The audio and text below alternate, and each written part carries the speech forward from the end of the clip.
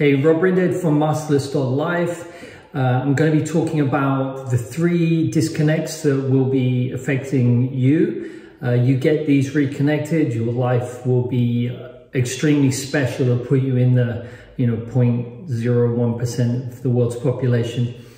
So if that sounds interesting, you got to definitely watch this video. Okay, so this morning I was doing a webinar, uh, a lecture on these three disconnects. And uh, I'm going to explain what they are, but why.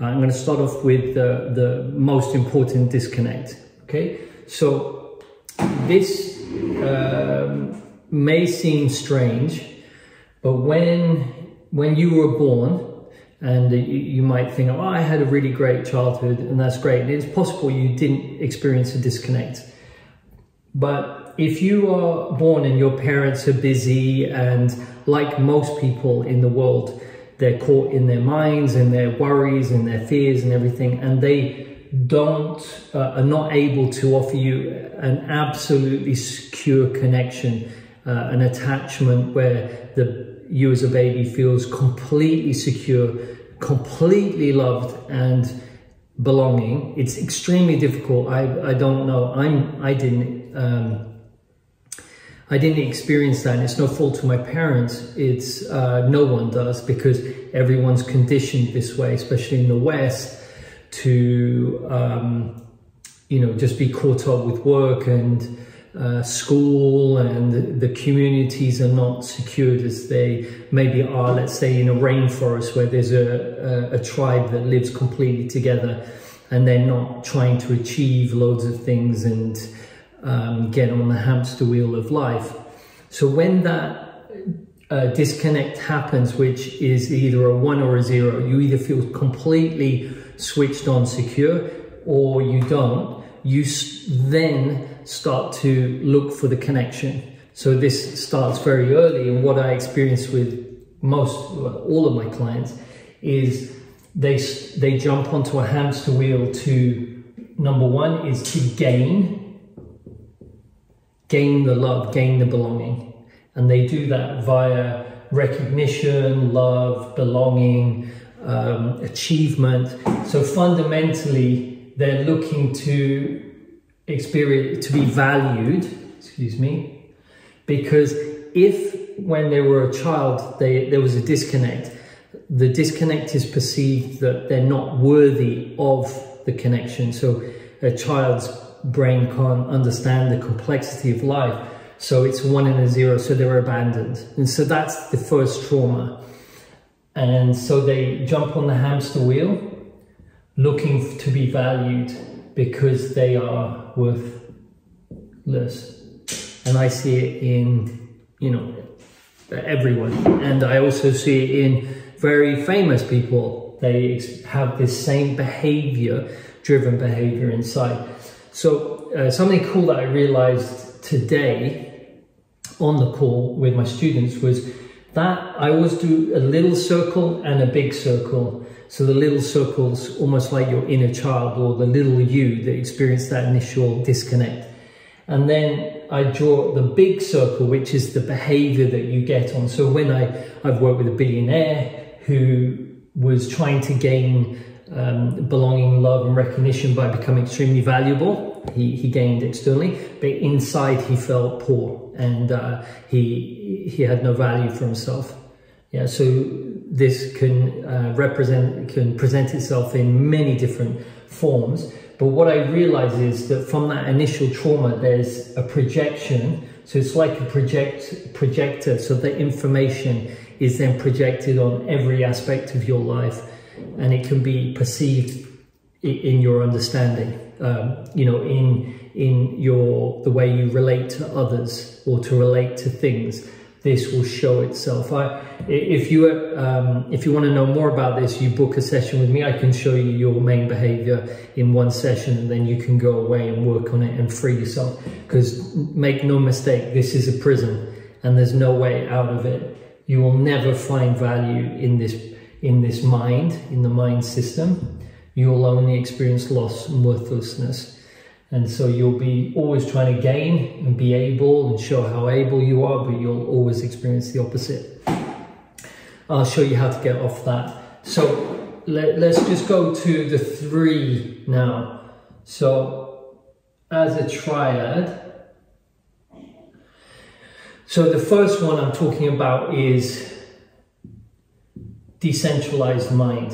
So when you understand and, and um, you know the the great Buddha, Krishnamurti, more you know Gabor Mate, um, you know you name it, anyone who kind of understands the first principles inside the mind is that you can't change the system from within the system. So you need to decentralize your mind, as in observe your own behavior, which is the highest form of intelligence. So that's decentralized mind. The other thing that's super important is decentralized health. And someone like Dr. Jack Kruse is, is the man in that area. So it's to do with your environment, understanding that the body is frequencies and light. you know, he, he brings everything together, physics, biology, chemistry, and he shows through, through research that, you know, we can produce our own light inside of us. Um, the, the um, mitochondria of the body uh, are, are batteries, and so we need to be very uh, acutely aware of our environment, so getting enough sunlight, uh, which is the most uh, wonderful source of health. Um, and unfortunately, we have experts and medicine who are saying it's toxic. So it seems like everything that experts say is that you just do the opposite, right? Um, uh, animal fat and animal protein is, is toxic for the body. Um, no, actually, that's the most health giving food in the world. And so it seems, I think, just through incompetence and through the, the narrow the narrow reductionist model that they go through is they just get everything wrong. Central, when everything's centralized, centralized planning, centralized institutes, they just get everything wrong. So decentralized health, I definitely, uh, you should definitely check out um, Dr. Jack Kruse's work. Um, and, and, so the environment affects the mind.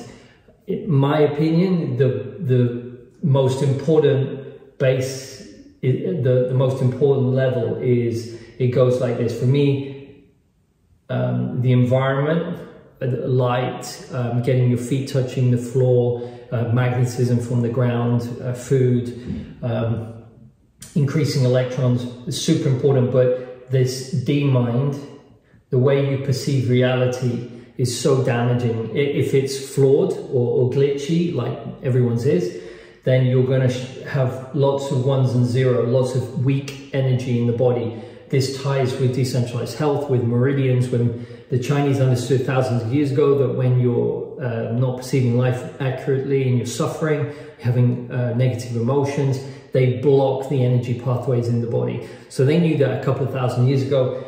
Uh, now they're starting to understand through uh, Douglas Wallace, the um, top researcher in the world in mitochondrial uh, science. You can check him out on YouTube. He's now opened up a clinic in China because he thinks that mitochondria systems are, are the, um, the meridians of the body.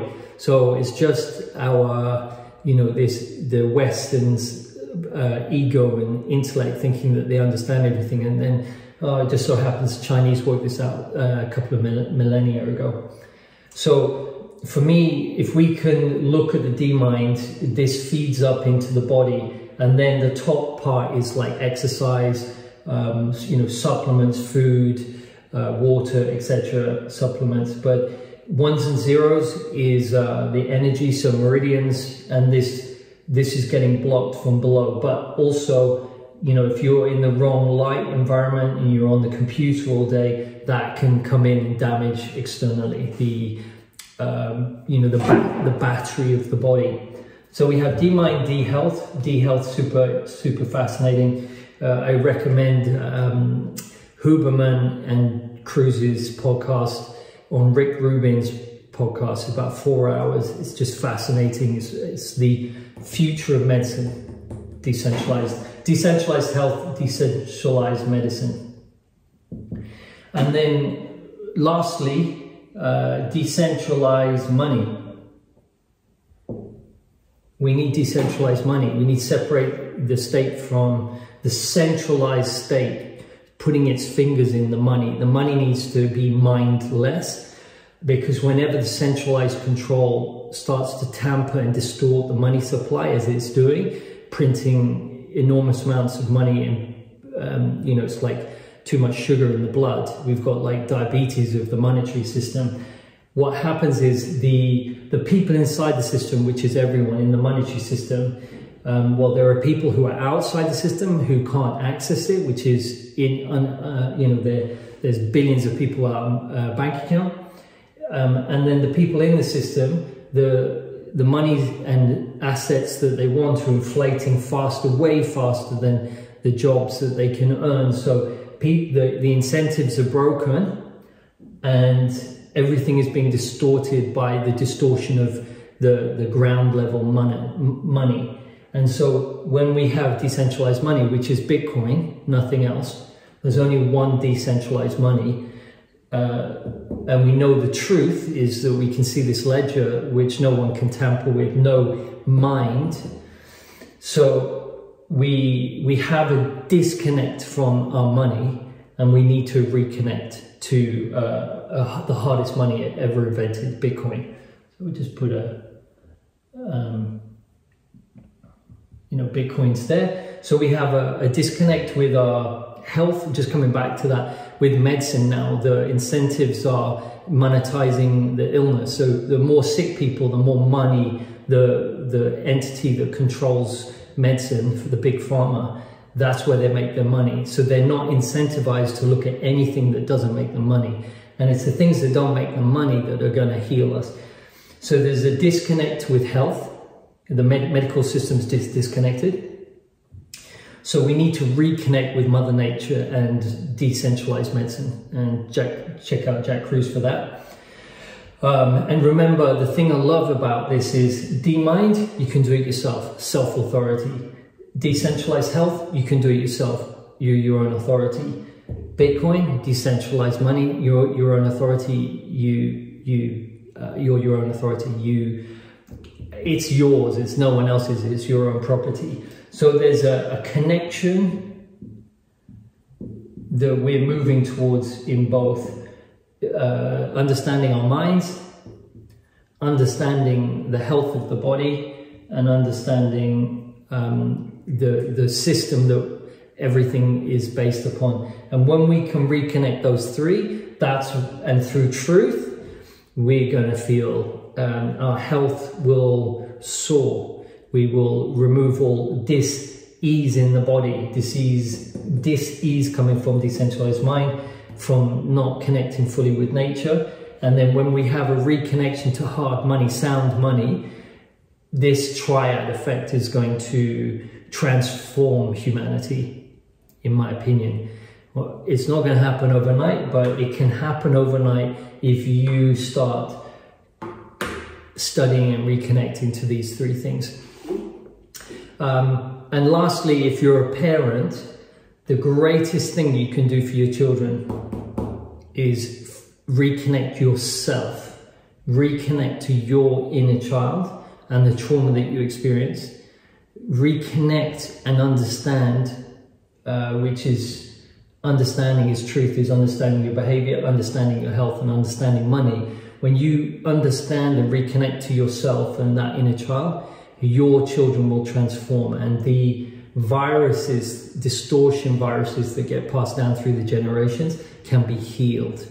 So the ultimate healing triad. Any comments, love to hear them below. I really appreciate that. And if you'd like to know more about my work, I'm at masterless.life or subscribe to my channel. You get my videos when they come up. Thanks so much, everyone, and have a great day.